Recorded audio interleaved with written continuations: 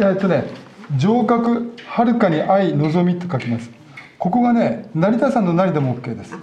ここが高石山という字でちょっとちょっと難しいような書き方あるでしょ。あれも OK です。でここは信用は2点入れてくあと1点入れてくださって結構です。ここはそのままでこれはね横を伸ばして縦を短くしても OK です。で月はあの斜めにしてください。いいですか？それとねこれがちょっとね成田山の成って大きくなっちゃうんで難しいんですよ。ちょっとここ今線引っ張っておきますからね。で土辺をここから書くんじゃなくてこうやって書いてください。そうすると成田山という字が例えばこれ成ね。楽に入ります。でこれ1ミリ開けてください。は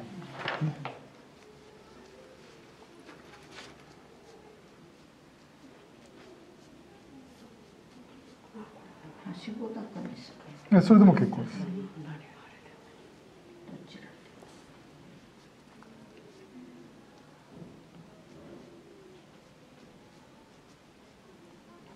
で？点を2つでも OK です。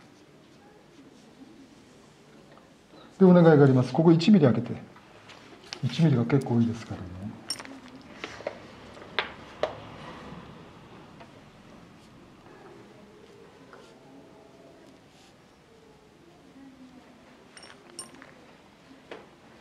これ長く書いても結構です。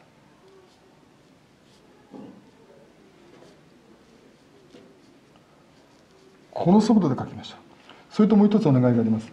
ここの長さよりもここを長く書いてください。左側が長く書くとよく見えますよ、ね。はい、じゃあ行書いきますね。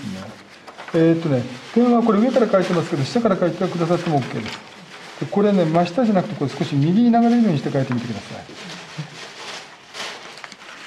じゃあこれはこのまま書いてみますね。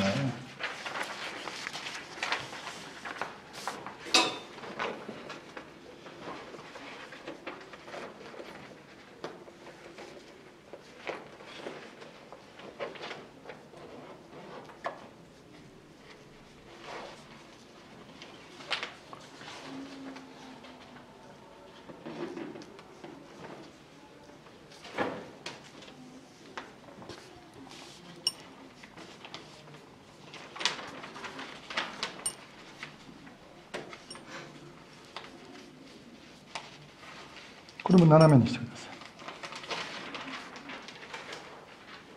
い。で書いてみてくださ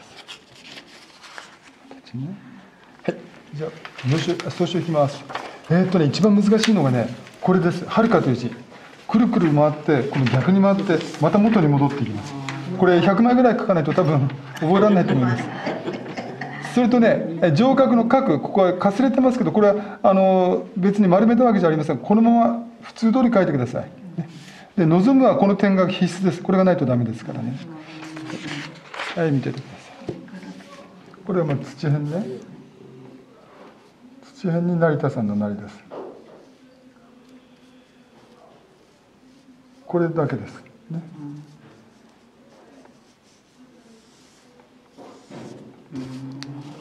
でこれをちょっと小さめに書いてこの点ね必ず打ってください。できますよ。